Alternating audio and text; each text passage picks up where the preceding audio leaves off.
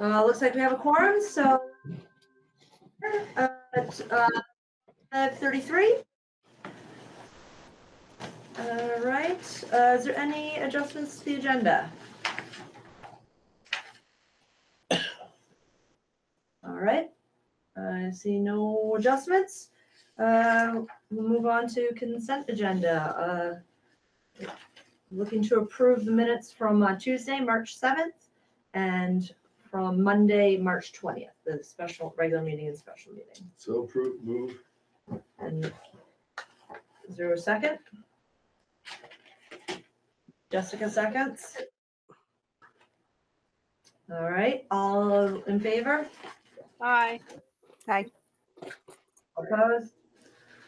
All right, the minutes pass. You have any public comment?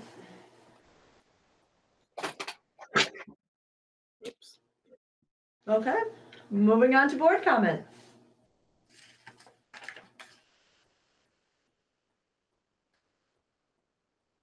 Okay, great. Let's get to the good stuff then, the celebration of learning. All right. I'm gonna turn it over to Mr. Lenahan, to Sean, and um, it's got a little presentation, five, six science, and three, four, but five, six uh, did earthquake houses, and I'm gonna turn it over to him and let him um, explain a little bit more. Great. You're muted, Sean. And we've got Callie. Good evening, everybody. Sorry for that delay. Um, I'm Sean Lenahan, for those that don't know me, and I have my daughter Callie here with me. I hope we sound okay. Yes, Okay. Um, yeah, so one of the projects we did this year, I'll just give you some brief introduction, and if you have questions, you could ask Callie. Um, one of the uh, highlights of the year I thought was when we took one of our science standards for earth science and turned it into a STEM engineer project. So I've done this with older kids before, so it was really cool to challenge these elementary kids to do it, and they really did a fantastic job. So I do have a tab I can present just to show off, um, just so you can see what we did, and let me know if it's coming through on your end. I will sharing my tab now. Do you see anything? It's coming up. Okay. Let me know when you can see that. Got it. Okay, so, oh, sorry, this is where we start. We started with our research on earthquakes using some real-time data. This is the USGS website here. So we kind of start there, build some of the curiosity into it and allow them to kind of play around with real, real data. Um, I'm gonna now share you the tab I have for the actual buildings. So let's see if this works.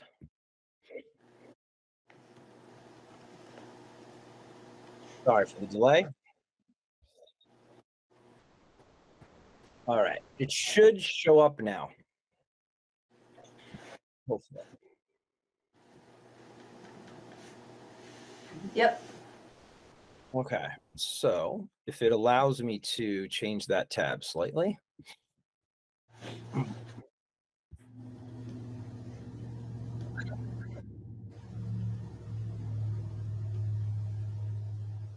Okay, do you see what we can see? Yes. All right, cool. So once I learn about earthquakes, we start talking about the engineering process. Humans have built cities in some pretty seismic areas. So we talk about how to retrofit and build them. And then we start the design process. So we worked in teams that kind of found compatible compatible partners that had the same vision. We start with spaghetti sticks and very limited supplies. They have a budget where they have to design a house with the least amount of supplies that can withstand certain Richter earthquakes. And so they start to come together. Um, kids had a lot of fun with this part. I wasn't sure how well the fi- the five six would step to this challenge, but they really did. wow. Uh, and then this is what they come out with. We sort of turns it into a STEAM project. They really wanted to design them. Um, some kids put little like little doll pieces in them just to see how things would shake around in there. And And then I don't know how well this will come through, but I do have a video and I'm going to try to share it and we'll see if I can play part of it. Yeah. what's-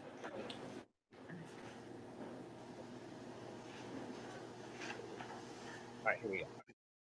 See if I can get this to work. Oh yeah, I'm just going to show you a quick, quick clip of it. Uh, sorry, give me like a couple more seconds here to find this. I thought I had it queued, but it doesn't want to play. Oh, here we go. Do you guys see a video playing? It's uh, starting. It's uh,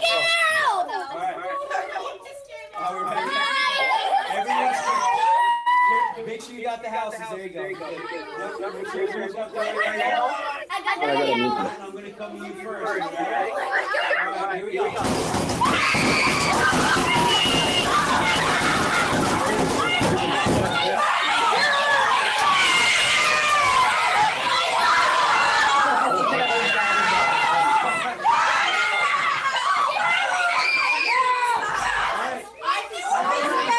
If your house is not wrecked, put it back on the table.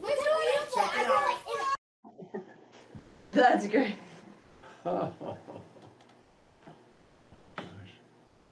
You're Sean- muted Sean, now, you're muted. Sean. You're muted. Okay, you hear me? Uh, the ones that did survive, we threw some tsunamis at. I have some really good videos, but they don't really want to load, sadly. But we did throw tsunamis at them outside, and the kids had a lot of fun just destroying their creations. yeah, so that's one of the fun highlights of it. Um, I'll, I'll turn it over to Callie if you just want to ask her anything about the process. I tried to get a few other students to zoom in, but wasn't successful. And I'll stop presenting. All right, I could go get Addie if you want. Yeah, if Addie wants to share. Yeah, and Callie, I do have a question for you. Yeah, what is it? Did you did this teach you any anything about where the safest place is during an earthquake? Um, one was it underground or? Uh, I don't remember. yeah, you know, as a Vermonters, I don't think we did to talk about ha- what to do in an earthquake. yeah. Just how to I was design. thinking by watching the buildings, you know, whether because sometimes it's not safe being outside when the buildings are falling down. Um, because when looking at your table, it looked like being outside of, of an unsafe building near an unsafe buildings. It didn't look like that was very safe. we watched a lot of old earthquake footage. I just my heart's in the 1989 San Francisco one, so we talked a lot about that. That one happened on my birthday. I remember watching the World Series when that happened. Yep. Yep. I have a question. Uh, Kelly, um, this is Mr. Canarney. Great job. I'm just curious if you had any aha moments throughout the design process. Was there a certain component of the design that seemed to upsta like uphold the the earthquake more than another?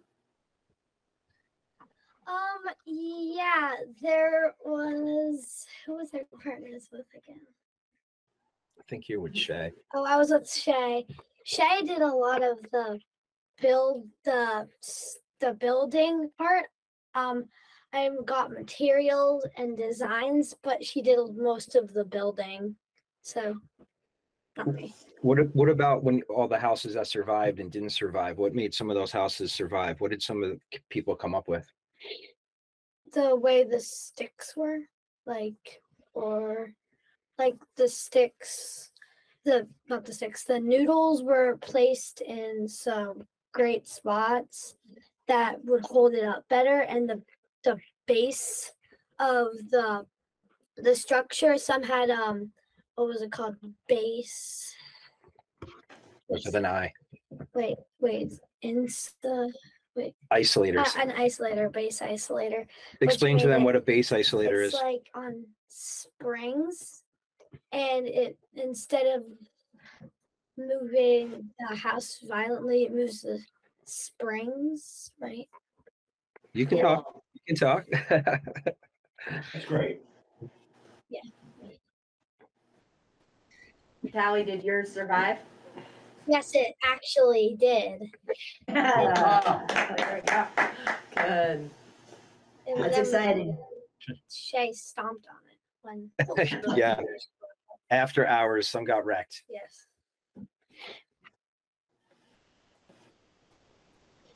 Well, that sounds like an exciting project to really bring what you're learning to life in front of you. Yes, it it really was. I love, hmm. this- I love the tsunami part where people Yeah. failed just just to throw a bucket of water at it, so they threw it up against the wall instead. Yeah, some houses were built so strong the tsunami wouldn't take it down, so they just wound up throwing it against the the wall. Unbreakable. It's like Luke's. Hmm. It's like, Just threw the bucket at it. yeah, you did. So did Holly. That's very exciting. Thank you so much for, uh, for presenting that. And, uh, that sounds like a lot of, a lot of great learning happening. Absolutely. Ooh. Anybody else have any Yeah. Yes, questions? thank you. Yes, you can go now. Thank you, Callie. Addie Thank was you, too shy. Yes, Good job. that took a lot there. That took a lot there. Yeah, uh, yes, it did. I Yeah, know. I- I couldn't threw get up- Addie to come. Serious girl talk right there. So I owe her one. Excellent. Well, thank you very much. That's, that's Thanks, really Sean. exciting. I'm, that's, like I said, I think, um, you know, th- that bringing it to life right in front of their eyes really, I will stick with them for a long time. I mean, even, you know, you may not have been lear teaching them about tsunamis, but I guarantee they're all gonna remember what a tsunami is, you know?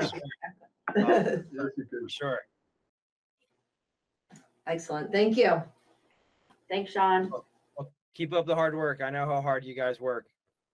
Much Oh, appreciate thank all you. of your all of your time and energy into trying to make this all work. Thank you. Thanks. Thanks. Much respect. Have a good night. Thank you, you too.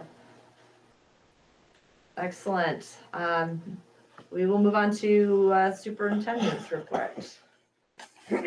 So you have my report in hand.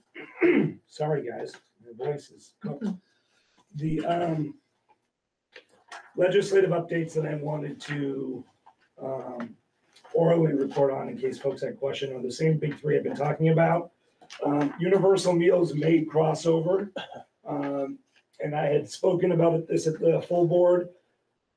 Right now, there's still not a funding mechanism outside of the Ed Fund to fund universal meals. So what that means is it's a projected tax increase beginning um, next year, possibly, of three cents on the tax rate.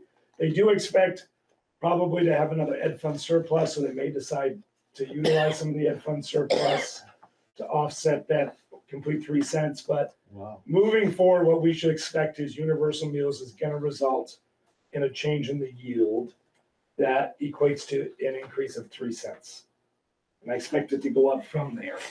Um, the, That's big. So you, folks may say, well, what could they do different? They could put uh, a regressive tax on it, like a sugar tax to help offset some of the expense of universal meals. Um, They could also split um, the funding mechanism and also have it come out of the general fund. Um, And so in regards to health and human services, when you think about meals supporting all families, um, it doesn't seem to have traction there yet. So anyways, that may cross over. Um, We'll wait and see what the fund, the funding mechanism is. I also think we gotta wait and see, um, does it actually get signed on by the governor? He hasn't come out and said he's gonna veto it. But he's definitely said that he thinks there needs to be a look at the funding mechanisms for it. So that's universal meals. Pre-K made it from crossover from the Senate to the House. That is essentially a study committee, is what it is on pre-K.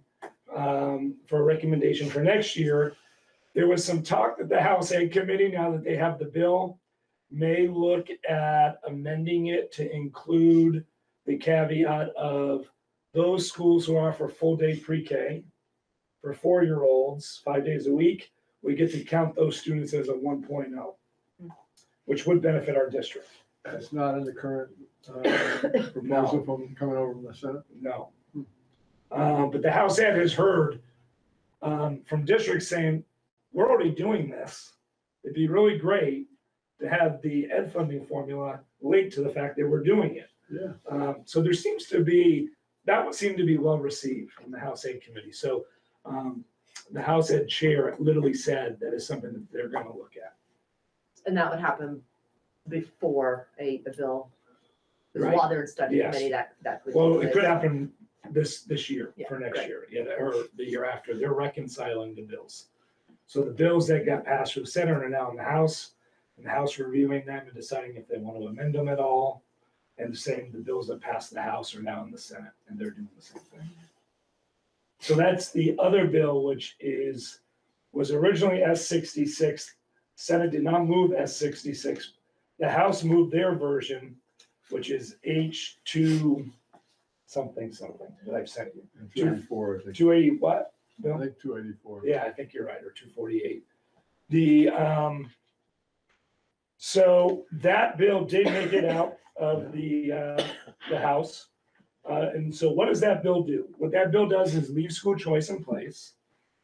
That bill, uh, provides assurances that if a school is to receive a public dollar and a public funded student, that that receiving independent school is going to assure access to special education, as an example. Ensure that there's going to be uh, no discrimination within their, their school system. Assure that the test scores are gonna get reported to the sending LEA and posted on their website like we do. Um, Assure that they're not going to charge um, a family who's decided to send their kids to school a different rate than a public school pays. So right now, a lot of independent schools will provide scholarship, is what they tend to call it, for a family paying into a school system. But in general, that's then being funded through the public school tuition dollar. Um, And one of the things I've struggled with since being the superior is even receiving independent, independent schools waiving tuition for two years while a student attends there under scholarship, and then starting to charge tuition grades nine through twelve. But meanwhile, the sending public school lost their average daily membership for two years, um, which is a penalty penalty there. And in general, um, if you're given scholarship, that funding has to be made up somewhere. So I would argue it probably gets made up in the announced tuition um, for nine through twelve. Is there a specific, um, mechanism for that announced tuition? Is there a cap that independent schools have to abide by at, at this point? Um, not all independent schools, so the traditional four historical schools, St. J, Burn Burton, TA, and um, Lyndon Institute can announce like public schools. As well as starting last year, TSA. Mhm. Um, and so there, the cap is, is, the AOE has that equation, that you heard me talk about it, it's a six percent range around what announced tuition is versus allowable tuition. Although the agency, um, Tara, do we even have last year's yet?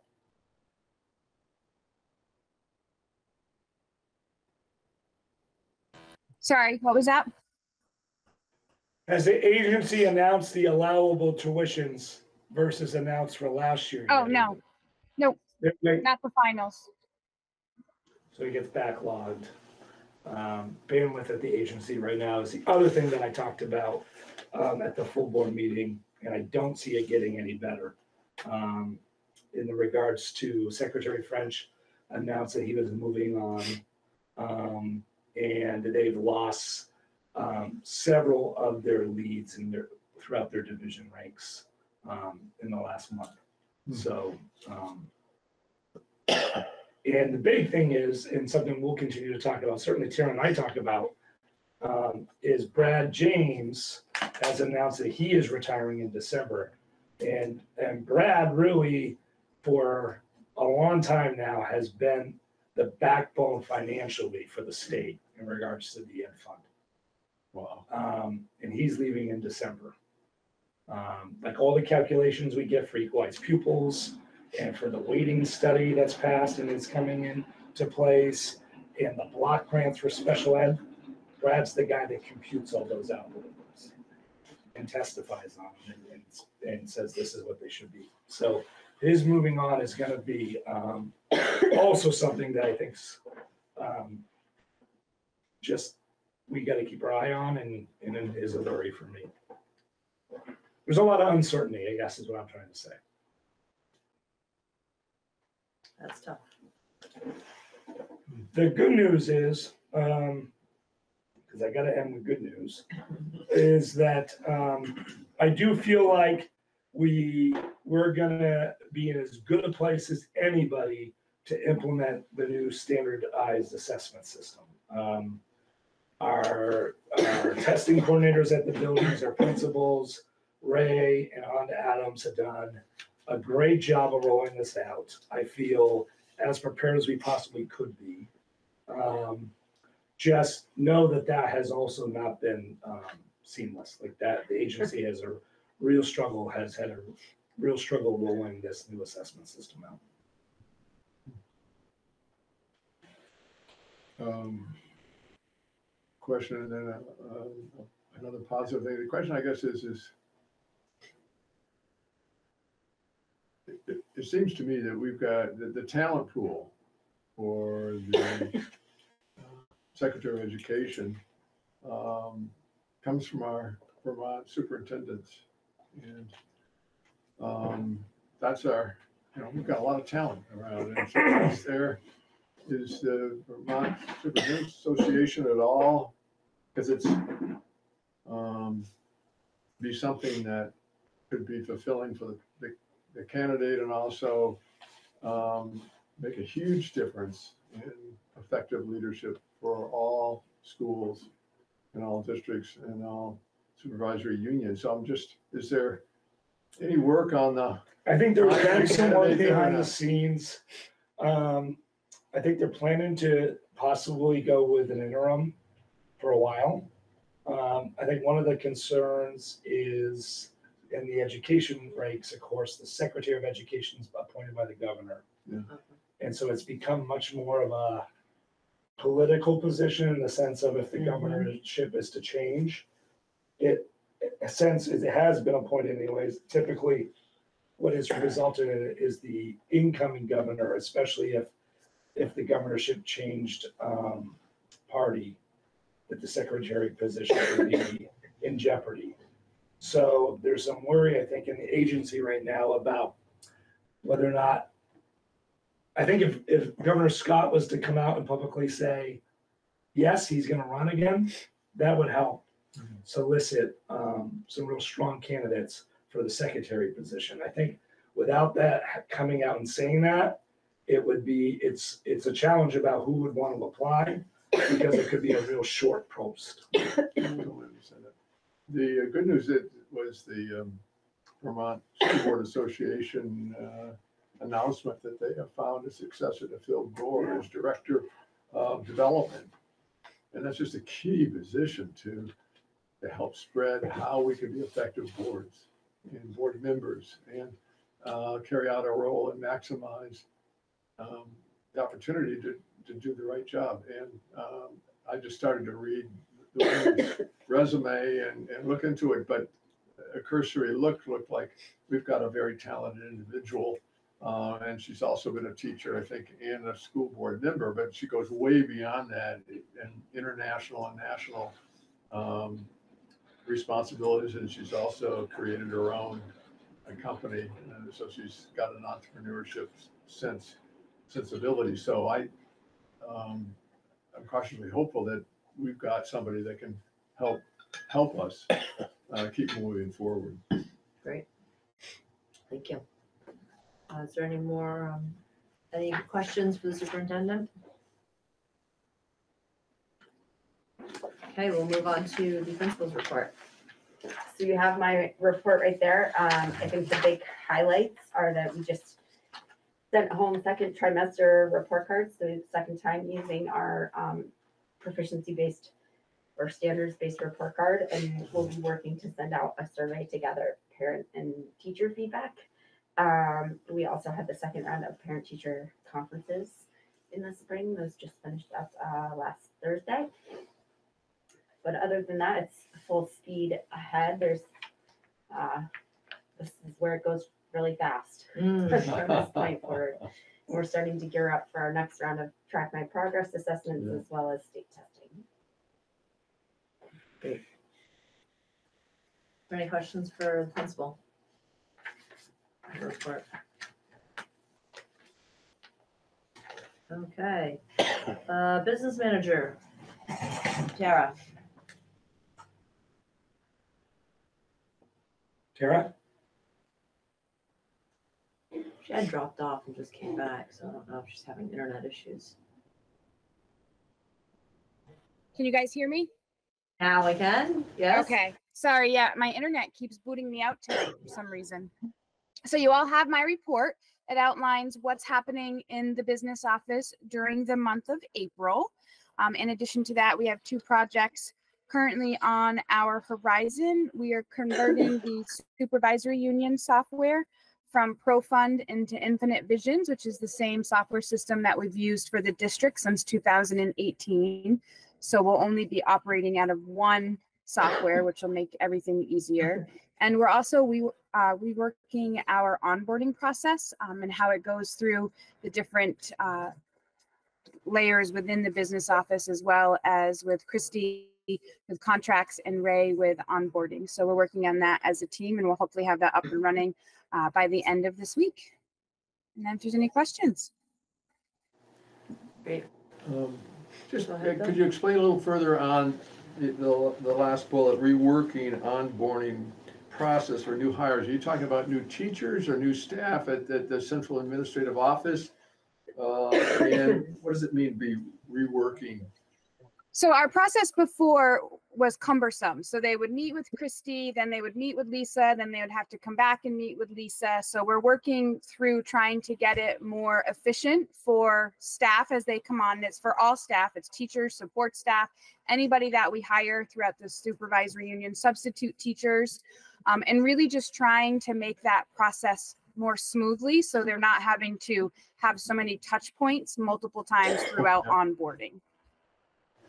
And Tara, are you the, the, uh, the captain of this team? I am the captain of the business office team. Yes. Well, thank you for doing that. It makes a lot of sense. great. Is there any other questions for Tara? Okay, we'll move on to, uh, policy committee, uh, reading the second special education policy. Essentially the same one you had last uh, month.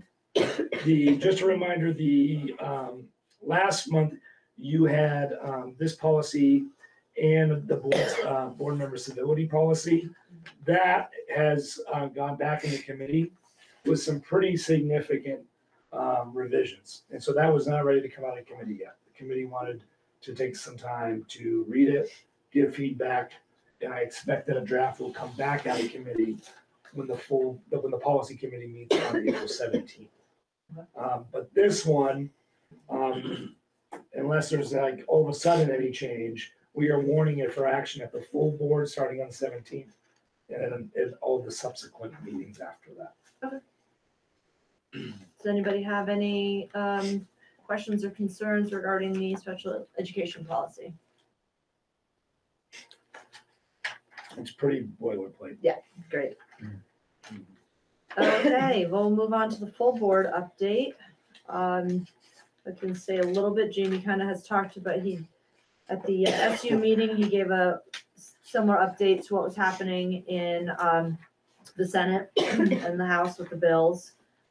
Um, there was some good updates from, our MTSS, uh, Chief Executive Officer. I wrote down a little note, they we're talking about a set of phonics tools that are available to teachers um, as other options for um, for, for teachers to use and, um, let's see, and showed critical prof- proficiency and performance indicators for, um, each group of kids, uh, K two and, uh, three, five, et cetera. So some, uh, reporting out of some, uh, proficiencies and, and performances. Um, The Director of Special Services gave a, uh, update, um, of going well. That's what I wrote for notes. So I think that was the- the sentiment, that everything was going really well and there was nothing. And the rule changes are tough. Yeah. Um, and I, I appreciate Annette giving a glimpse to the board each month on what some of those rule changes are, but, you know, essentially what the legislature did to get at requiring s- schools to have a comprehensive system, MTSS, which is in statute. Their way of going about ensuring that it was gonna be implemented was to then tie it to qualification around special education. So unless the school system implements a truly comprehensive response to intervention, a system where kids' data is being monitored on a regular cycles, that we're implementing targeted interventions with fidelity, a team can't qualify a student for special ed services. So it's really making certain that all levels of the system are working together uh, collaboratively. It's no longer special ed and, and regular ed, right? It's, we're all working on the same team here, hand in hand. And if we're not, and the law really gets at the heart of, if you're not doing that, it's really challenging then to qualify for a student for special education. Yeah. Well, good, I, sounds. Yeah, That's, so that's the, that's what we should be doing. Should be looking at- agree. Right. I was always very supportive of that bill when it went through. I felt like it was gonna really hold schools accountable to early intervention and supports. Yeah, I, um, recall, what I get impressed with over and over this team, you, you formed and lead, uh, and support is the positive nature. Um, it's so easy for in these jobs, wherever you are, to play the game, ain't it just awful? And they can just, ain't it just awful to death? Because there's new things and hurdles and dips and and uh, uh, things that, that get in the way and um, block where you'd like to go. And I don't get a sense of that from your team. And I think from, from everything I've seen, and nothing is, is perfect, but that's, to me, is, is an example, illustration of a, a strong team. Uh, They got problems, uh, they're gonna deal with them, um, but it isn't playing that card. And I, I appreciate them not doing that and, and, and being positive and confident. Um, The uh, Director of Technology and Communications um, updated um, about the hard work they've put in to the um, new student testing platform.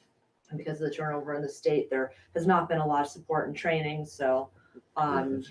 Yeah, that was huge that, uh, you know, that our tech team has really stepped up to really work hard at, at, um, getting, getting that moving forward for our students. Um, and then the calendar, um, was presented, and so we have the calendar for next year, and the big news is that, um, we were able to align, uh, one, the, the, spring vacations, one with the more southern tech schools and the other with the northern tech schools to help all students in our uh, system to be, at least have one vacation with a sibling that's um, in our district schools. That's what I got out of that. You get a lot. Okay. Um, Okay, if there's no other updates on that, we will, for questions or comments. Um, Negotiation council update? Yeah, I, I missed it, but the good news is that there was agreement reached between um, the SU and our support personnel. And I was Very, very, very pleased. This is talking about a three-year contract. Um, And I think I possibly express this before. To me, uh, this is another recognition that we've got a team that is working together. I've seen places where um, the areas of, of uh, labor have just gone off, whatever, and uh, whether rationally or irrationally.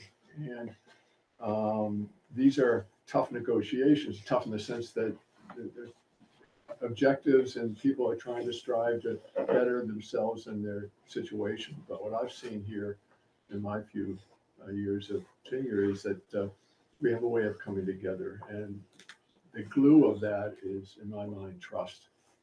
And uh, there's another evidence, uh, sir, to your team and the good people throughout the whole system working together.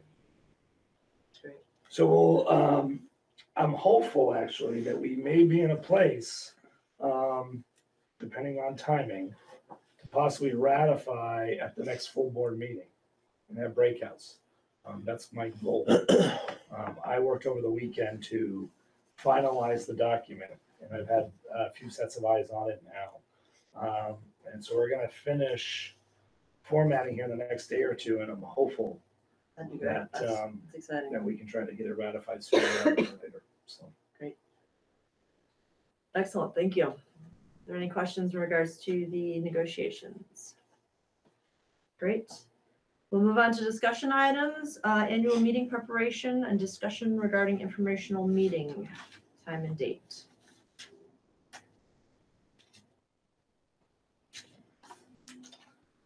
I'm sorry, I wasn't at your last meeting when, you discussed this a little bit, when you approved the warning. Um, so the mailer is, um, about ready to go to copy. We'll share a proof with people, just to give a quick look. Um, a thank you to Lindy and Erica around all their hard work and Tara. And the board had a nice letter, um, of pulling that all together. Um, so I think we're gonna be ready for it to go to printer, to get a proof, like maybe Tomorrow morning. yeah, so that's exciting, but we'll share that out. Great. Um, so that's the mailer, and then the informational meeting, um, I'm, I'm, I created a little wrench in this, because I'm trying to get a, get away and truly get away, um, for some time in April, during April break. I have not gotten away, other than a couple days around Christmas all year, and I can feel it, um, a little bit, so, um, this, the informational meeting would be to essentially go over and have a dry run of our presentation that we will do under article, um, the article within the warning of reports to the board. Because remember, we're voting from the floor this year. And so what we've done in our other in-person meetings this year is gone over our entire presentation after that early, under that early article and allowed for questions on the presentation and then taken every article after that. And, and people can ask questions again under each article, but it's really given them a whole preview of everything the budget is supporting. It allows us to tell a narrative of what the budget's supporting, what the, you know, how the CLA has impacted tax rates. Um, and then allow people to digest that and ask questions about it before actually moving on to, all right, now we're gonna discuss the budget article um, it's allowed it, that informational meeting to kind of happen early in the meeting. That has served us well in all of our floor votes. To, I'm just to clarify, you're saying the informational part of the meeting is the same night as the vote, you're just doing it earlier. You're not doing it as, as a separate. um, Well, it's, it's night. early in the meeting agenda. Yeah. It's okay. underneath, I, I don't have your warning in front of you. It could be Article two or Article three is to hear reports of the board. Mhm. Under that article, we've asked the moderator to ask permission for the principal, for Tara and to I to go, remember how we had slides previously? We'd go over that whole slideshow under that article. And then, and the board ha- will go over some business, you know, slides too, like you have in the past, we'll divvy it up. Um, but we do that whole essentially thirty-five minute presentation early on in the actual annual meeting. Mhm. Um, so th- what I'm saying to you is, is, and remember, everyone that votes on the budget has to be there that night. Right. So I, the i- only difference would be if you decided to hold a whole nother informational meeting, separate of the meeting in, in person, would be, I, what, what we, we're planning, we have one district do that in Strafford. They held it a Friday, they voted on Tuesday. We had two people show up. We were originally gonna go through our whole presentation as like a dry run to just practice. But the board chose to not do that based on only two people being there. Mhm. Um, and it, it lasted about a half hour. And there was a back and forth question around, uh, actually, they had a question about how food service worked. Right. And uh, they provided some feedback on wanting um, more all-wheel drive type vehicles running back roads for buses. Um, and Actually, we didn't talk much about the budget at all that night. Um, Tara? Tara, We don't actually have that article in the warning. well, that's not good. I just read through the warning again.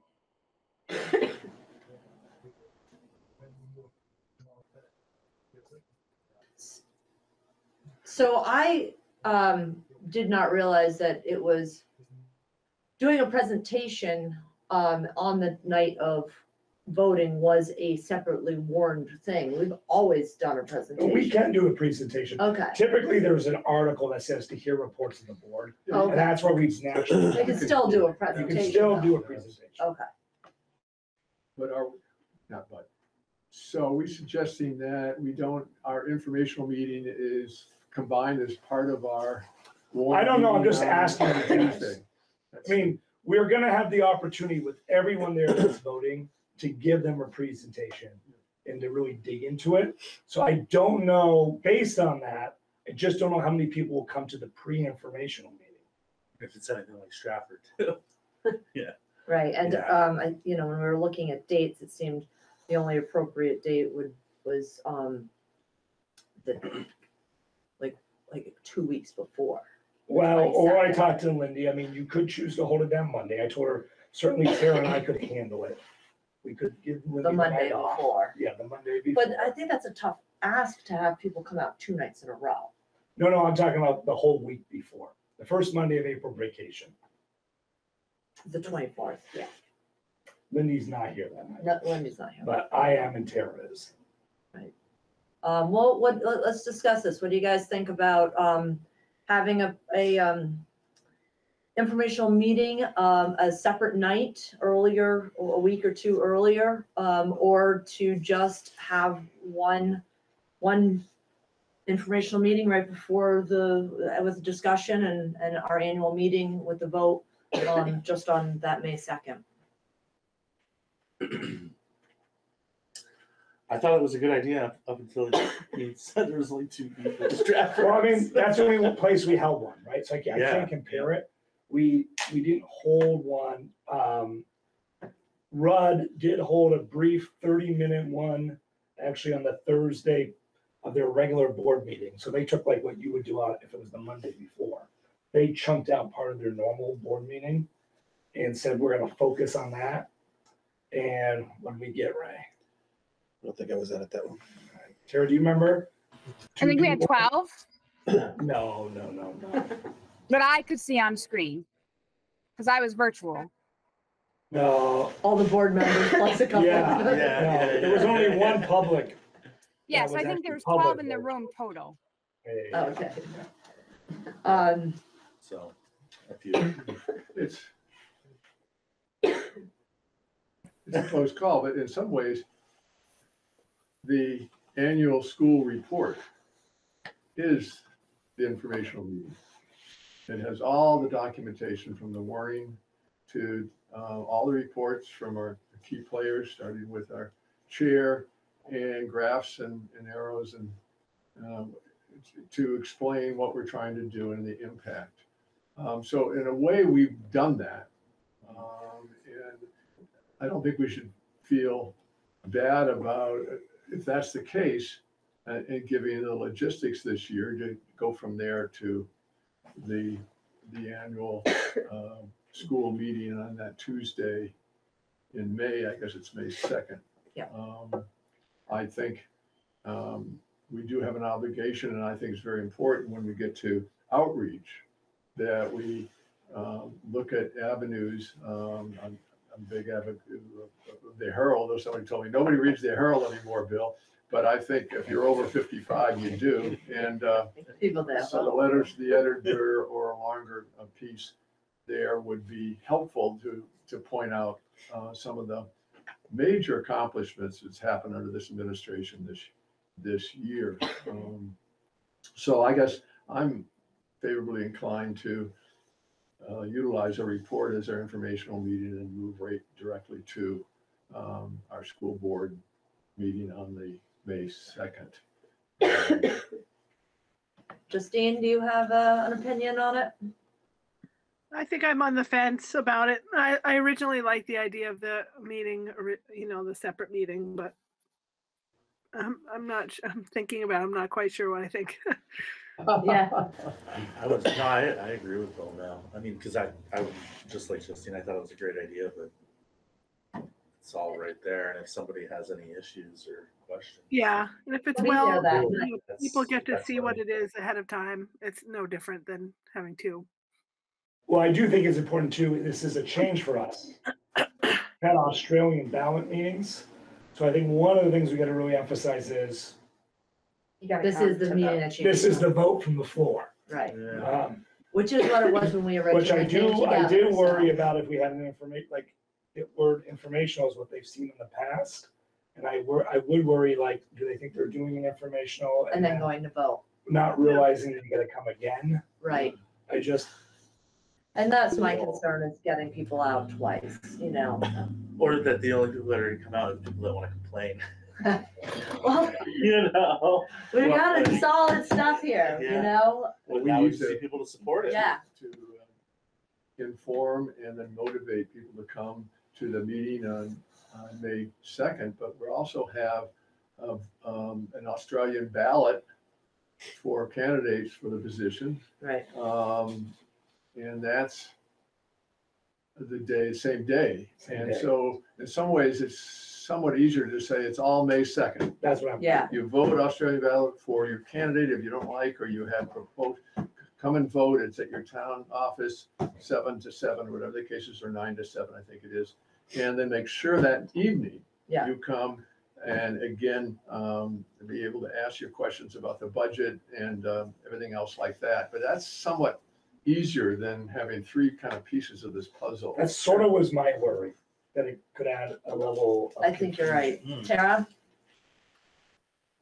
I just wanted to share, there was some confusion already on behalf of your town clerks. Um, and I discussed with both of them because they were not familiar, particularly in Rochester, of the split between what you're voting on from the floor and then what you're voting on by Australian ballot, because apparently there's also another vote happening in Rochester that same day. Um, that they were going to be piggybacking on the school vote May 2nd. So I do know there already was some confusion and some of your town clerks had had some feedback from community members about both um, from the floor and the Australian ballot vote. Well, I think I'm getting more and more convinced that it would be easier for our community to just have our um, annual meeting on the one night and not have these three moving pieces that they have to figure out, which one am I supposed to go to? That's my biggest worry. Um, I would like, as she, since I, I would like in both of our towns, us to put up a poster that says, make sure, you know, meeting tonight to vote for budget. So when the people come in and- and they might be thinking that they're voting for the budget or, or any confusion, just totally eliminate. To vote tonight, come to the in-person meeting tonight to vote on the budget. Um, I think would just help, uh, clarify. Also, um, I'm assuming there, there's directions in It's the here. first thing, just, or it's in the same spot. Yeah, because we had Yeah. directions last year, So like, it's okay, how do you do this? It's changed to say that like article, whatever article that is voting for, Yeah. um, school board members is Australian ballot, and then it, at the top, it, so it divides it into two sections. To vote Perfect. for articles one through ten, Yes, okay I okay. think is what it is. Yeah, it'd be- Great. and It's that's, too- see, it's it's not too bolded and late to have that underlined. in our annual report. It is. It is, it's the in- first page Big, after big, the big, table of big. contents. Right, which is exactly where it was in the last book, which is re- just right away. This is Yeah. how your voting instructions. Mhm. I do think bold. And it's bold, and then it also says it, if you flip over to the back, Yeah, you'll have it on the back here. it says it right up top too. Perfect. Yep. Um, that, Jessica, I, I agree with you all on doing, you know, the simplest thing and the meetings. Um, but I think one of the concerns we had when we were considering this was, was the tax impact on Stockbridge and doing the informational meeting in Stockbridge. So those that may have these types of questions, um, you know, have some time to ask them and a week to think about them. Um, I'm I'm in favor of of probably no informational meeting. I'm, I'm, I'm kind of like JC, I'm a bit on the fence about it because I'm trying to be sensitive to the difference in the tax impact on each town. Um, but um, I also, you know, it could be a good time to convey the confusion of where you have to be to place your vote too. Um, you know, we don't want that to be a backlash after the fact where I didn't know I had to vote. You know, um, I didn't, I didn't know this was something I couldn't go to the office or I don't know. I mean, I'm I'm I'm going over the fence now that I know what I know now, but um, just food for thought. This was, I think, one of the reasons why we were considering it in the first place. So we just, I think, need to be sensitive to that. That's all.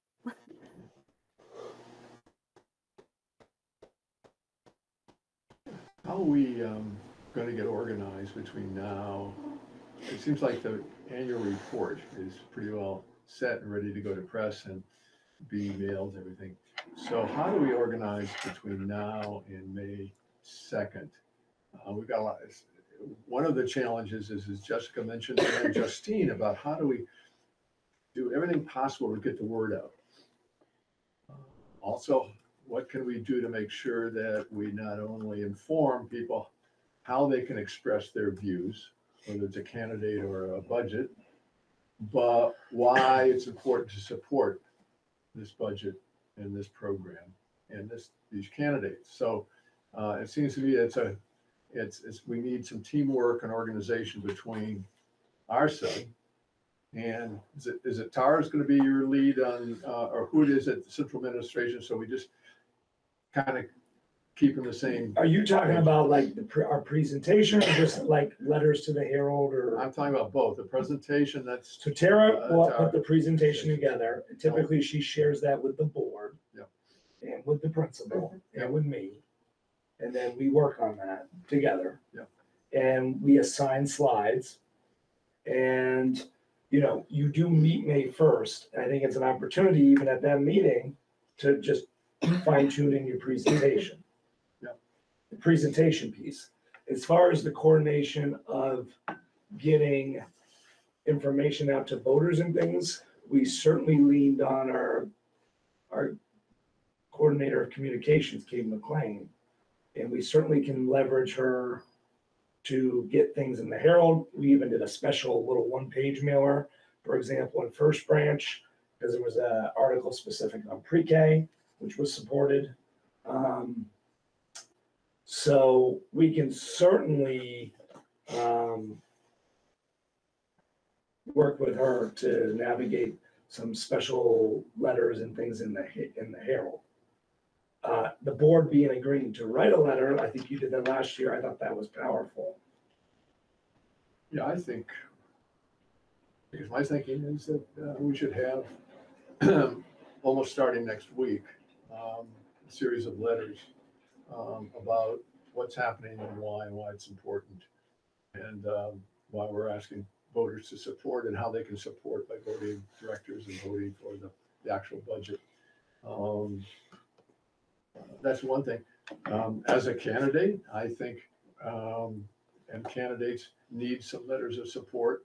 Um, We cannot take that for granted. Um, And I don't know what the um, situation is in Rochester, but as in my career, it's one thing I learned in the political arena is to not take it for granted. So I think people need to be, understand that who's running and why. And I take responsibility because I'm a candidate. Um, And I'm going to be asking and working with some of you to, and others to help with that. Um, What I'm not good at is the whole social media and whether, uh, what we should do there. In fact, you talked about this, Patrick, about how the pros and cons of Facebook, but that's where the communication coordinator and some of you that, uh, I'm in the dark ages there about, is, are there vehicles there, how to tap? What those? we've leveraged is, again, all we can do is communicate facts, like when the vote is, reminding folks that you vote on, on, um, you know, your elected officials via Australian ballot. We'll, ke- we can push all that out through social media and also through at least school families through Blackboard Connect. Um, and so that's what we did in my other districts, is text messages reminding folks of the meeting. Um, and again, I'm only getting school families with that, No, that's because that's the only means I have, but that we definitely leverage.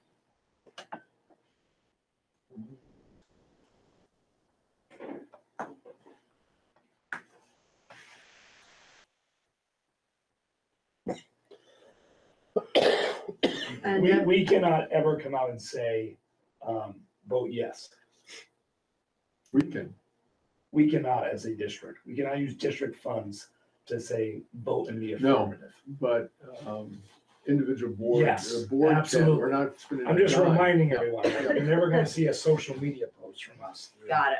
I'm wondering whether we could work, you can kind of help coordinate, I certainly will give you my thoughts on that of how we spread the word.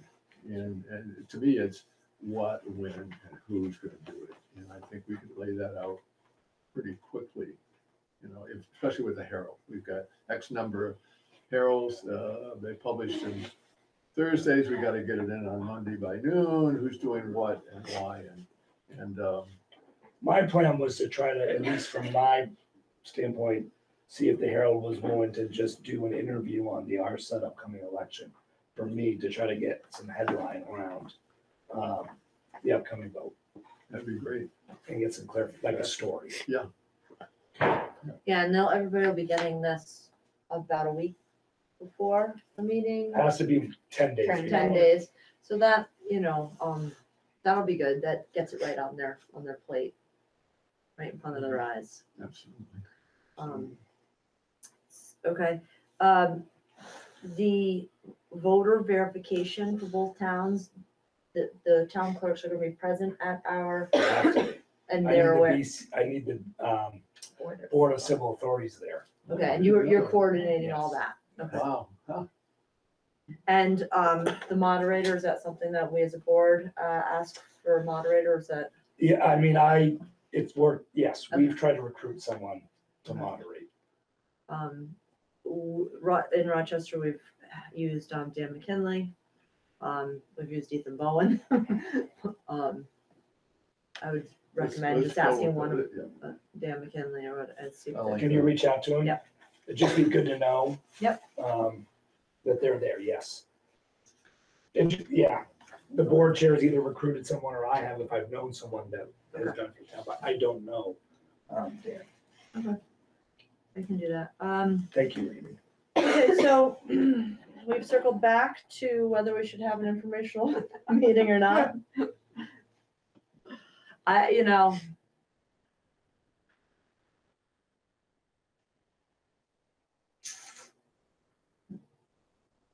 Does anybody have any strong feelings either way is the problem, is the thing.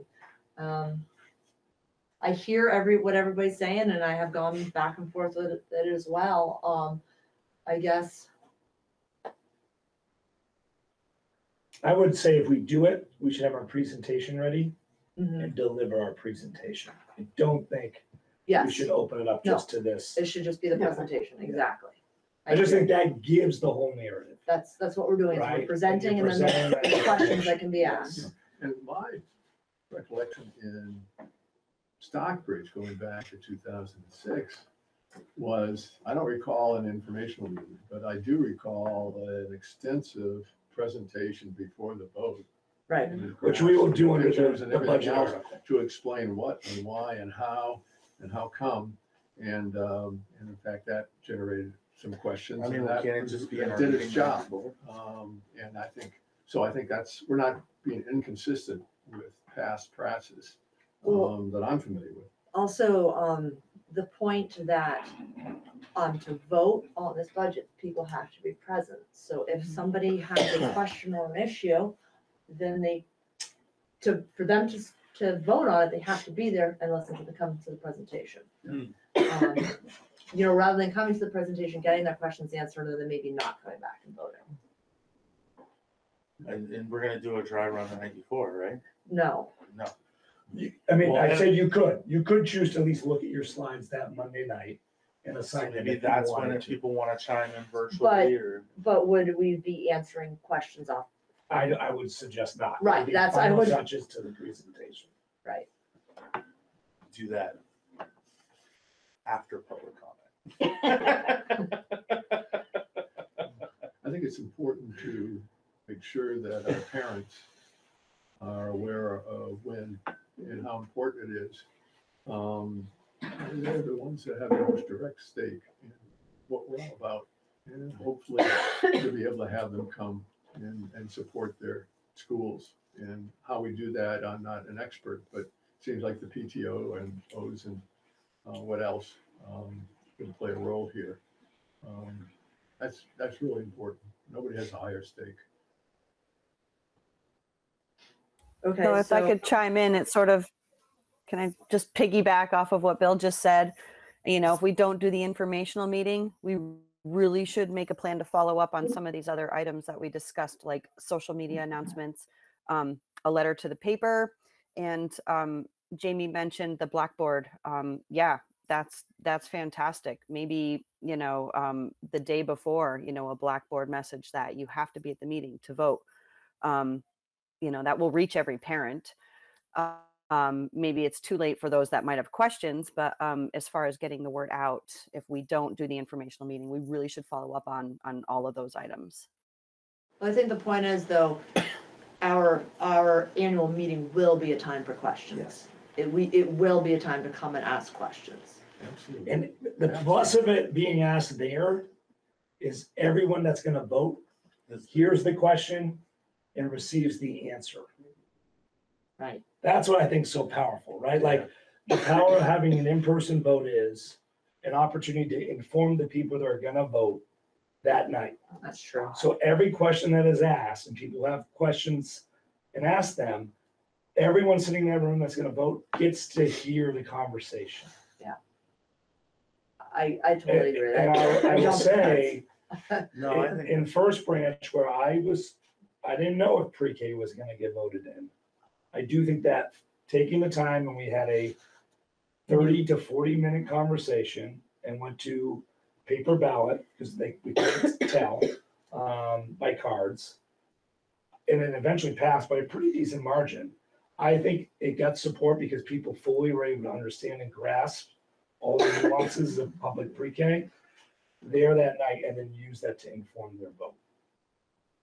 Where if I think if we had just had, uh, information, some of those questions would have been asked and not asked the night of the vote. And then some people who heard those answers wouldn't have had the opportunity to hear the answer and say, oh, it really is being funded a whole FT by Head Start, right? Like hearing that talk through, I think helped.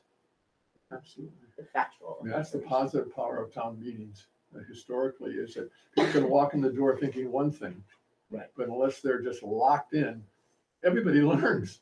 And they kind of grow and, oh, I didn't know. The power of being able to have a presentation so they have some data and information to work with is invaluable. Um, So I think we're doing the right thing. Yeah, I think we should, um, that would be my recommendation is that we just have our annual meeting on May second. And we do the information presentation piece, have a good discussion, and then vote that night. That'd be my recommendation. You know, they got thumbs and I do it to vote on it? No, You okay. don't have to, I mean, you can make a motion to hold one.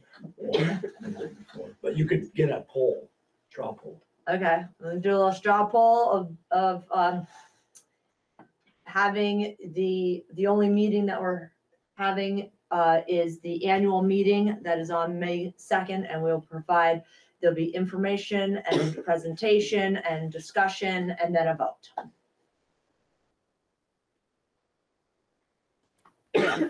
i think as long as we follow up with our informing procedures i i'm okay i, I can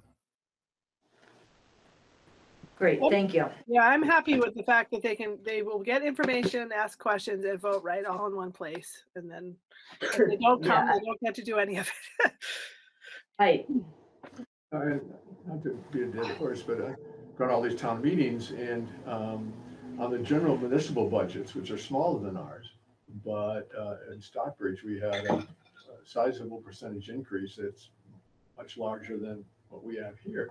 There was no presentation, information session at all. So it all had to be people asking questions from the floor.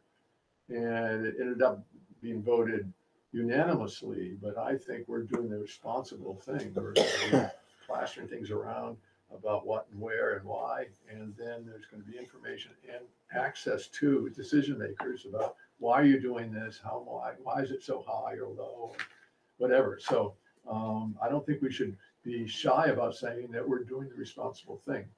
Uh, cause I think we are. Great. I gotta jump in on my other meeting as a start. Sorry. What Okay. about you? Sorry, guys. Okay, well then let's move on to the, um, Stockbridge Central School Solar Project. Yeah, um, so I did get some information as far as cost associated with the master electrician. Um, it's probably about a day's worth of work for them, so you're looking at, oh, anywhere, you know, probably a thousand dollars. Um, or less. Um, so with that, and then the structural part with the roof, Cricket did say she um she had said um she did a walkthrough um there was a facilities assessment done uh, completed by black river design um the, structural engineer that was subcontracted as part of the facility study uh, engineering ventures they're out of uh, Lebanon also did a walkthrough and brief assessment of that roof. Um, so their findings would be in the facilities assessment report, which I don't know.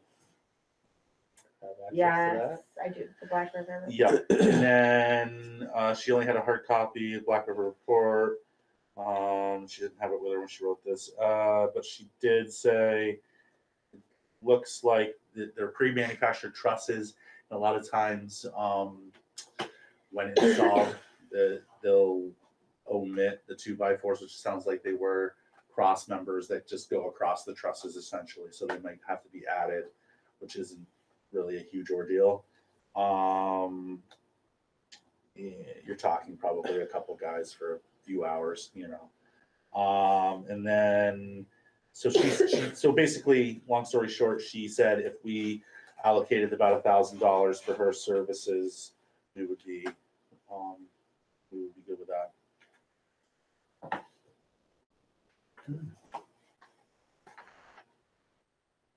Oh, and then the other question was the, um, Inverter. Yes, the inverter. And it sounds like it's both. So four, four years of, approximately four years of life left in the inverter, four years of warranty left.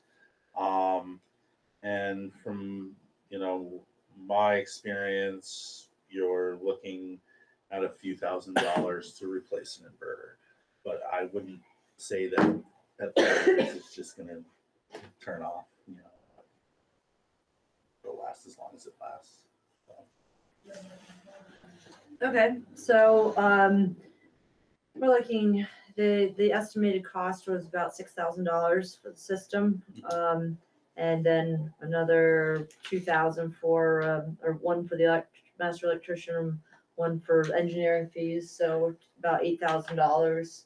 Um, is probably what we're talking about for this, for this project. Great, what is everybody's thoughts on this? Does that come from our, from our capital fund or? Or where's the, or we have it embedded in our budget, I forgot.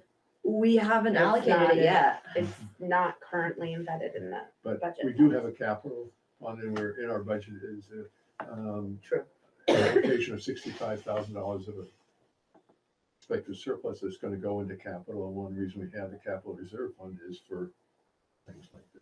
So we have that option if we wanna utilize it, it seems to me. Um, And I think it's, it's just, I think it's neat. Great, uh, any other comments? Justine or? All right, um, well, we are looking for possible action on this project.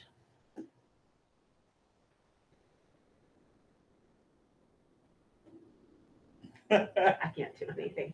Anybody want to make a motion to go forward with this the uh, solar project as presented?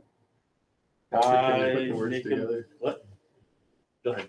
No, I'm saying for you, uh, Yeah, yeah. you're a team leader. here. Um, I make a motion to move forward with, uh, the installation of a donate, donated solar, um, system from Deborah Aldrich, um, to be installed on the roof of the Stockbridge Elementary School.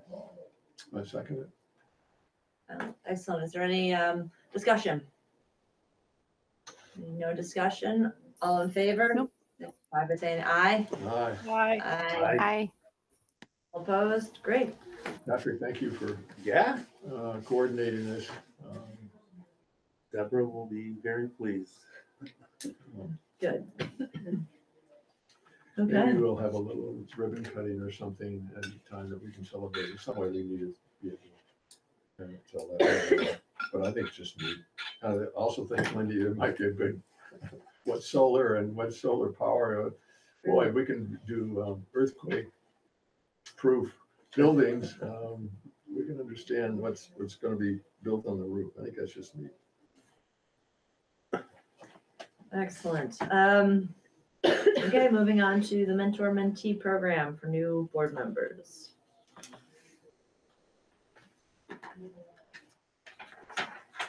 I'm not sure if that's something you were involved in, Uh, or is I'm that not something for directly, Jamie to uh, be? Um, I gave them some suggestions, but the whole idea is that effective boards make a difference. Yeah. Ineffective boards make a difference. The difference is one's positive and one's negative. And one of the things that we learned from a presentation uh, by Phil Gore through uh, Vermont School Board Association was the idea of having a, a a more formal entry educational mentoring program for new board members. Yep. And part of that uh, is to have a document that they can read, absorb, and have with them as their job goes on. We've all felt that, gee whiz, if we knew more, we could possibly contribute more as board members. And this is to help close that gap between, gee, I, where am I? Where's, what am I doing? All that, a lot of that is right here in this handbook. And I, I think this handbook is something that can grow over time. Um, I'm a notebook person, so I'd love to have, this put in a notebook where they could, uh, members could, whether they're adding policy statements or whatever they want, a little budget. Um, but this is, this is core stuff, and I think it's, um, um, Yeah, I think it's great. It's taken, To it has taken a long time um to just figure out like what am I supposed to be doing here? What but I just want to caution that there's so much information to make sure to keep it um as a s in a simplified format so that it's not too cumbersome for for somebody to want to dive into and yeah, read. that's one thing that I think this- the committee did. Good. um, that I uh, appreciate. The other thing is that this is information, but we're also giving a helping hand through a mentoring program where mentors, uh, not from the same board, will be mentoring new board members throughout the SU. And so the person saying, what? What? You know, or Yeah. help, help me here. I don't even know where first base is. So you, um, so that's the, the power of that, having a relationship and a contact person to help them get through um, uh, the start of their journey. soundboard. That's great. That's good work. Great. Uh, is there any other questions, discussions, comments? All right, seeing none, we'll move on to, um, the, uh, Arts Hub Facebook, um, board's prior use of Facebook pu- communication for communication. Um, Jamie was gonna dig up, Yep, so we talked about it. okay, Um, so the last time we talked about it as a board, um, was in our December of twenty twenty-one meeting. It got brought up when we merged our school Facebook pages to be one Facebook page. Did we still need to keep the Rochester Stockbridge Unified School District Community? I, I'm not saying that full page. Right. Um, but did we still need to keep that? And then it's got moved to future agenda items and it never was a future agenda item. So here we are, it's a future agenda item just a couple years later. Yeah, Uh, and, and so there's. we did, we came through, but so there was no actual action taken on that question. I believe Justine had posed the question originally and then here we are, um, circling back to it, but So what was the, what, it's the Rochester Stockbridge Unified Um, District Community Facebook yes. page that has this at the Yeah. top? that one, Okay. We were, we were called out online essentially saying that we weren't using it. And Well, i was scrolling through it and yeah, we're not using it like everybody else does every day to take pictures of their food, Yeah, but, yeah. um, yeah, but yeah, I, scrolling through it, I actually found that, um, it was like a community bulletin board. It's not really an interactive kind of thing, which Facebook maybe sometimes is, it, but, you know, it gave links to people to go places to get stuff. It talked about, um, preschool, kindergarten right. I mean, So the only thing I'll say is no one active on the board is an administrator of it.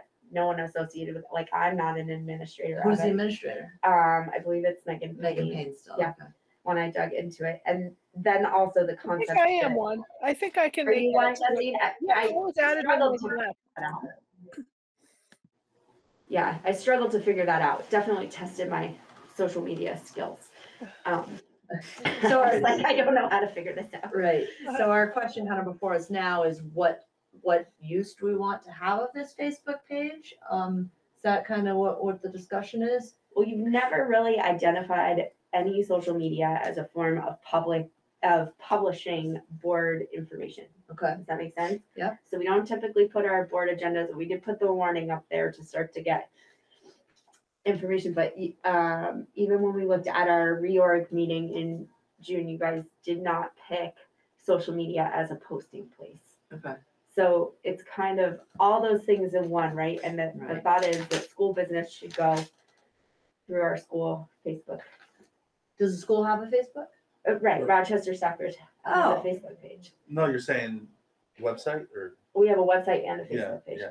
Oh. So like that's kind of, right, Justine? Am I, am I, I, I think you were one of the ones who originally posed this question. Yes, you're right. Yeah, Stockbridge Central School. Um. Yeah, I just, I, I just wanted to figure out what we all thought because I don't, I can't, you know, I don't think that it's gonna, I'm gonna stop getting tagged in things. So I, uh, I just want to figure out how to use Facebook the way we want to use it. Right, I mean, here we are coming up to our annual meeting and, um, and so, um, we're talking about what are avenues to getting, getting out there. Um, but you're also saying we have a school page, would it, would it be appropriate for us to, to put an announcement on the school page about the, um, the meeting coming up? I mean, yes, we, I'm, let Yeah. Ray jump in. 'cause he Please can do. tell me- tell me. Sorry, I'm not, uh, I'm listening to another meeting. Oh, sorry. right? Uh, and I wasn't, uh, fully in all, in on all this discussion, but we post stuff to the, our sub page every week, Right, pictures, announcements. Uh, and my understanding and or concern about, uh, the community page, if I can call it that, is that, um, board members can't interact outside of a meeting. And so uh, the, the Hmm. communication coming from the district should flow through the school onto the official page. So if we use it as an announcement page, we could do that and just shut the comments off. That's a good idea. I think shutting the comments off is a good idea. I think that's the, I mean, if we're going, it's if all we're going about to use it, how, yeah. someone who's tried to figure out how to shut off comments on, I on think, yeah, Facebook. I've done it before. It's not as easy as one would think. Yeah, You yeah. have to, there's a difference between a page and Mm-hmm. a, there's a difference between following and Mhm. liking it. Um, so I'm not sure if this community page has that capability, is the honest, I would have to dig into the community page a little bit more and its formatting. Or Justine, maybe you can, I'm not sure I can see it, cause I'm not- I hear exactly what you're saying, thank you, that, um, Yep. the board cannot have interactions Mhm. with, with people commenting on the, the Facebook page. We, Well, I think our, um, initial thought was just to be able to, like a bulletin board, just put out there, but not, we were not able to receive or answer any comments. Um, so maybe that is not the right place for us to, to, to post stuff out there, but now that we have a website and, and we do have another avenue of Facebook that, um, because I, I know a lot of people are on Facebook. Restaurants have their menus on Facebook. It Yeah. drives me nuts. Yeah. Like, put it on a website. Um, true. Uh, I love so that. I think that as long as there, there is a Facebook option that we can still post Yeah. on, that'd be my thought, uh, but I am You not can, on Facebook very much, so, or ever. You can set it up so everything has to be approved before it gets posted. In which case you just like not approve anything. You know, like if I, Comment wise, is that what you mean by that? Comment wise? yeah, yeah, anything or any post anybody else wants to post. If they want to post some sort of Have to go through an make a post like Yeah, like spammers or- or something. You can have or, like yeah, third party. complainers. Hey, really, it could Mhm. just be we can post it, I approve it, and then anybody comments, I just don't ever approve any of it because it's not allowed. Because we've decided that as a board. Right, It just seems like a lot of. it's, th- we have three hundred and fifty-three followers. Yeah, it doesn't seem like a lot because you just ignore the every all the requests. Hundred and sixty-three, excuse me. I mean, yeah, um, I think that seems easy if we set the setting that way. Require, you know, approval. Right, That, that this page is specific for, um, posting announcement from the board and we are not taking any comments, come to a meeting. Yeah. Yeah. I mean, I just direct them to go to the website. The website's great. Like, people should be going to the website and not to the Facebook. That's not. Yeah, but giving the them- Yeah, but you can drive them to the website. Sorry, Yeah, go ahead, yeah. Jesse. people are on Facebook all day long, every day, all night long, every day, and the things will come up so they see them more often than actively choosing to go to the website. I don't go Oh, and yeah. look at websites most of the time. Right. Almost never. I will never. I mean, like, I go to will the, I, never I look just go there all the time. to look at the Menu on a website. I will look at their Mhm. Facebook page and I'll look at the Right. menu. I, I don't look Right. at websites. I, I, it's just in my face. I'm like, oh, look at their Mhm. menus right here. Cool. You know, I think we'll reach Yeah. more people with Facebook, but if we can control the discourse, I think that Mhm. It's about driving the website through Facebook. yeah, yeah, Yeah, totally. I, mean, you I think that's provi- different. And then people Yeah. go to the website, go to the website and just keep driving links to the website. or they Yeah. just ch- yeah, they click on Facebook and they end up at the website. That's a different thing. And that's what I did. Was it a month ago when you kind of got called out, Justine? Yeah, I. I was like, well, go to the website. come to a We- you know, meeting, go to the website. Yeah. I, I feel comfortable with that, that we keep, we keep this stock, the Rochester Stockbridge Unified District Community web, um, Facebook page. We use it, um, to post announcements. Oh, um, uh, we, we provide the link to, to our regular page where they can find more information, a regular web page where they can find more information. Um, and it is not a platform for commenting. We will not comment out and we're not receiving any comments come to a meeting, reach out to us um, personally. So, help me, is what we're, you were just talking about this community Facebook page, RSUD. Is that different from the current Facebook presence we have with, that, uh, it goes through our schools? There is a Our- Stockbridge Lindy? one. There's a Rochester Stockbridge School Facebook But page. That's what you, goes through you. I'm just Yeah. wondering, the power of Facebook is uh, when people have questions or concerns, uh, they can voice them and they can get answers. Um, The way we're set up uh, is that individual board members can't really facilitate that. What the forum is our board meetings, where people can come in and ask and, and suggest or, or, or oppose. And then we, as a group, can take action either Right. that night or agree to do it or anything. So in some ways, it's misleading to have a separate board Facebook page if we can't do what it, Facebook is really designed to do, which is having two-way conversations. Our, two-way conversation as a board is through these meetings. So I'm wondering whether um, everything gets shuttled to our, RSUD Facebook page. Everything just goes there immediately and um, they get their information from that. Um, And, and um, we can continue to say, if you've got questions or concerns, uh, here's the board schedule. And, and please come and, and articulate whatever the case is. But I just find it somehow weird that we have a Facebook page, but we can't do what people might want us to do, which is to either, whatever. So that's, I'm, I'm, So I mean, I'm do questioning, that. why do we we? even need one if we're not gonna be able to? Well, we have a more two-way followers conversation. than the Well, I Rochester see the, I see Schools the value of does. using Yeah. it to information now. So I mean, if, say we have a- our meeting and then we need to post the minutes, can't we just, But can't we do that through through what? our, our side, The school one, The school? The school? that's what he's asking. Isn't Okay. everything what we do is? Yeah, I connected guess, with yeah, one it of is the other confusing. schools? Yeah, It's two It is different. confusing. I think we don't need the RSUD one and we can just k- post stuff on the schools one.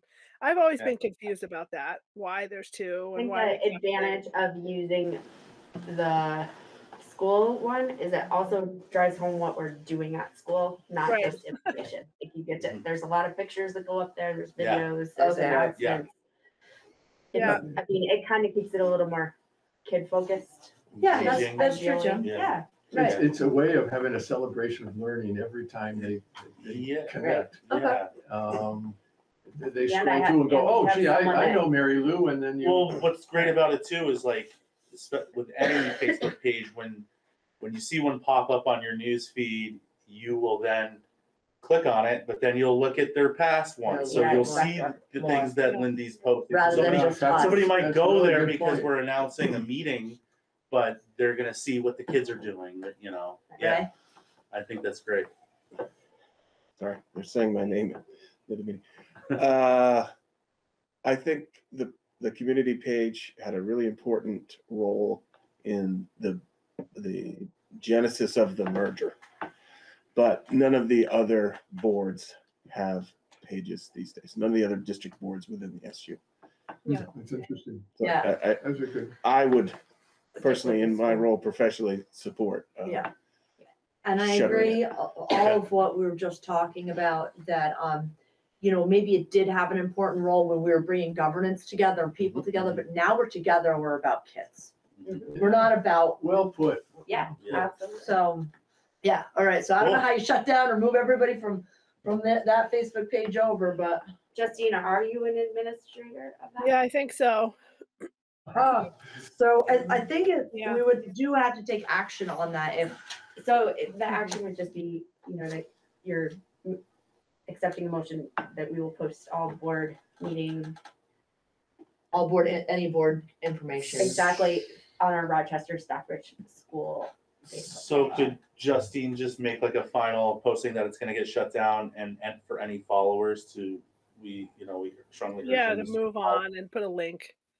Yeah, yeah. Um, yeah, That'd be great. links to the school pages, They're Not already following. Yeah, In the once you make the, website. Yeah. and the website, I do like Yeah. the website, I agree with. Well, I think the move what website's what really Lindy said. Okay, What's that? I move what Lindy said. is there a second? Second. Okay, great. Um, any discussion? All right, all in favor, signify by saying aye. Aye. Hi. And I want to Yeah. thank uh, Patrick for bringing this up and Justine for being our administrator. I didn't know that all the time. My gosh. So I was like, I don't Um, even know. uh, Justine, don't take it personally that we're taking this power away. Oh, no, I don't want it. I was like, I- Yeah, that's what I said. I Not a felt big- bad it's for Not a her. big deal, really. It was different when I, I was, when it was more active and it was merger related, you know. It was different then. you know, Like, No, I think that's, I think this is a wise way to go. Great. Okay, um, so we will move on to board development study book. I guess I don't have my book with me. Did you bring your book? I did not bring my book. I had a busy, busy day.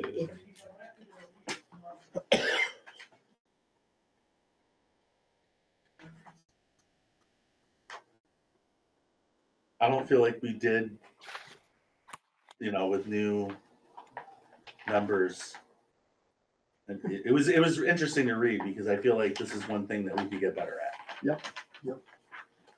Um, I feel like. I read this and then I kind of used it at the um the meetings for the the member handbook. Yeah, I- I think it's That's a- kind of in line aligns with basically that entire handbook. Cool. you know, Yeah, it's interesting. One of the lines in this coherence chapter, governing with coherence, is the fact that we, what, what unifies us is this, this vision uh, of mission, um, this overwhelming um, concern and uh, commitment um, to learning and the students under our care and supervision. And that's ongoing. But the other part of it is this duality they talk about, because it's, but we have to be open for change. So it isn't like we've, okay, we've got the formula, we've got this, and we're not going to do anything else. Uh, what the authors were saying, you, good, really strong, effective boards. This comes from Jim Collins from a great book called um, Good to Great. Um, phenomenal book, no matter whether you're in private sector, nonprofit, or public. And uh, but uh, we can't be afraid of change, and we we have to be open and proactive, kind of to, to continue to to move to be effective. So even though Yeah. we kind of kind of have a comfort level in what we believe in that relationship, we've still got to be moving, and change can be at times uncomfortable. And another point here is uh, the question is, well, what do I do when um, I advocate something and the board votes the opposite direction? And the, the answer is that you know, we're a team, and uh, so we move forward and we do it civilly and and and with a positive thing. So it's it's interesting stuff.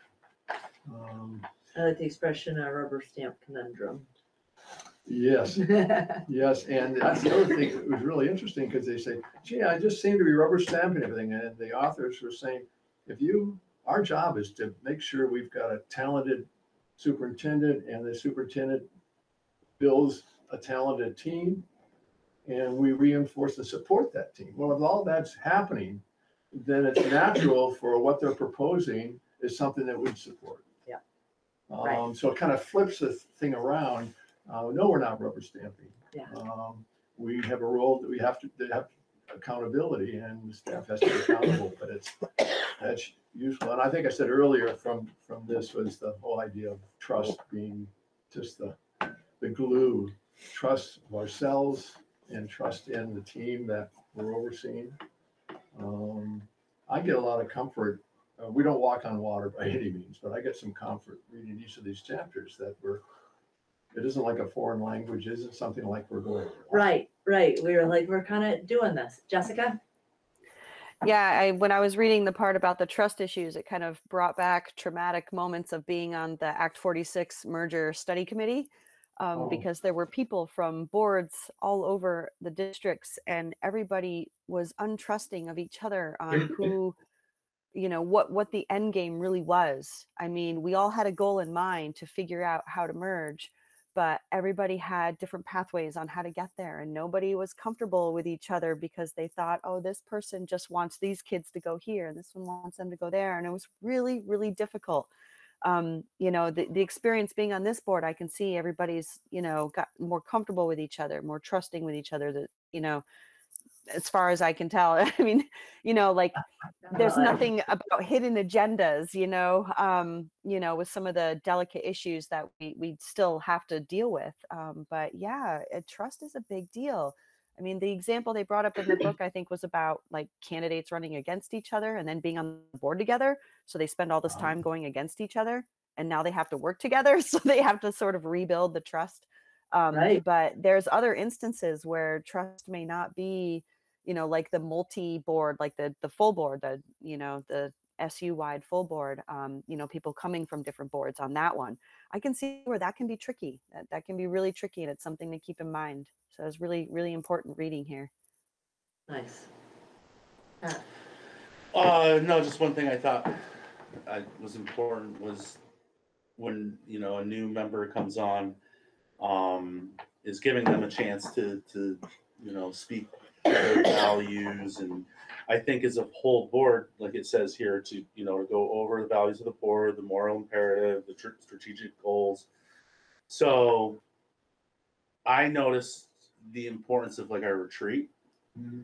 It almost seems like a retreat needs to be in line with a new member as well, because I feel like as a me- new member, to just get thrown into these meetings, you're almost a little too reserved and having a voice because you, you feel like you're under the spotlight.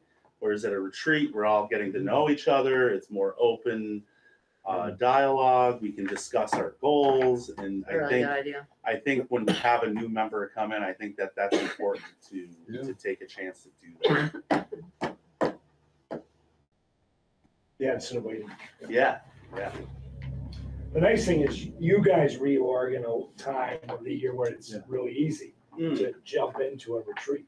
Yeah. Mhm. Yeah, I mean, you're really gonna be reorging in June. Yeah, so it works out well. Nice. It's just the way it- the May meeting Right. falls. Yeah. Yeah. Excellent. All right, does anybody have anything else uh, for the, uh, our book club? Uh, and the next chapter is.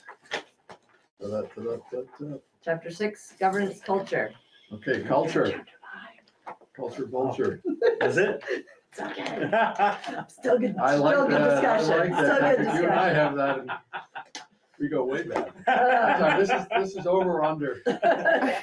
Okay. I was wondering if I Um, read the wrong chapter. but Oh, God. That's so good. I read the right one, but You still brought Everyone up some else very good points. uh, Patrick grew- grew up on Vulture Mountain. so. Oh, man. Excellent. Uh, do we have any new hires or uh, resignations? Okay. Searching I, for new I meant to say all that last month. Okay, great. Do we have any public comment? Okay, um. So our next regular meeting is, um, Monday, May first. And we're gonna have that as a regular meeting with a regular agenda. Yep. And then we will, Tuesday at seven o'clock, we will have our annual meeting. Yes. Great. And do you want us to be there early, so we kind of get our marching orders or anything Yeah, I'll else? be What's your there. advice here? We'll probably be Early. talking throughout the month as we get a I little mean, closer. that night, you mean the annual meeting? Yeah. I think if the board gets there at least a half hour early, that that would be great. Um, we'll certainly be there. You guys bringing me cake? I'll be there at Is it your six. birthday? Oh, excellent. I'll be there at least an hour Oh, early. my, oh, man. I think, I think we, I think it fell on my birthday last year too. What a, what a way to spend it. Yeah, well, hopefully we can give you a good birthday gift then. Um, One of the things that we did in another district, and I'm putting Lydia on the spot, which is like my rule not to do, is we did hold a community dinner um, for families and, and folks that were interested um, prior. It's a little trickier because we vote from the gym. Anyways, and then we provided childcare. That might be something that we look into doing and publicizing out. That discuss was, amongst yourselves. that was effective, Yeah. um, to have some We food figure prior that to out. the meeting. Yeah. Mm. Uh, it- Even, even with a that little potluck type thing, you know? Yeah. So anyways, I'm chewing on that. That might be something that we offer. We did it like, again, they voted at seven. Dinner was from like five forty-five until like six thirty. Um, and then we transitioned to the meeting. Okay. Or just have some. chocolate You don't want any chippers. hangry people. Well, that's helpful. Yeah. Yeah, and and I, I think when we think about, um, families, like the, trying to navigate dinner for families and then get to a seven o'clock meeting can be really challenging. So we were really focusing in on how could we try to support our families in attending that have kids, school age kids. I like that. We'll have that at the hearing anyway, right? At the public meeting? That's it. Childcare? Yeah, that's, but I'm wondering about Yeah. trying to navigate some food prior to. Great. Uh, future agenda items for Monday. You will give feedback on those slides. Yeah. You're gonna get a social, I think it's social emotional data report. Academic. It's academic data report, okay. Okay. On track my progress. Yeah. Okay. Great, well, if anybody comes up with anything throughout the month, uh, let me Maybe and get Jamie know. Stockbridge Community Meals to Oh, there you go. sponsor something. Maybe. That's interesting. Be a good way to get, get that, uh, out there too. That's true. All right, well, I entertain a motion to adjourn. So move. All right. All in favor? Uh, Aye.